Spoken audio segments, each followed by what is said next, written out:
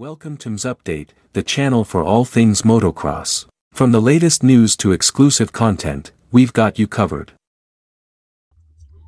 On paper, it would seem to be the same result that fans are accustomed to see.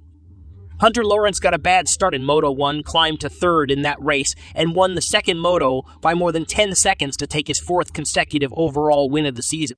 In reality, things were a little different this time because Lawrence also had a poor start to Moto 2 and had to overcome a start of seventh. In Moto 2, Lawrence assumed the lead at the halfway point and cruised to victory. Lawrence was penalized seven championship points, but allowed to keep the victory because the penalty does not impact event results.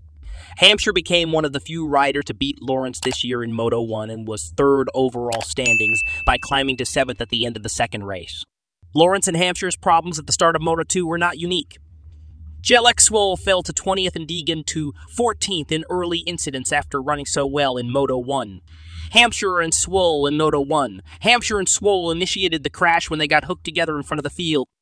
I think it sucks to be penalized, Hunter said. Apart from that, it was great. The track was wild. So many soft spots and really wild, but all good. Dude, don't crash for one and don't get muddy grip on a track like today, nobody expected it to be wet. The second qualification, I bettered my time, but it was tricky.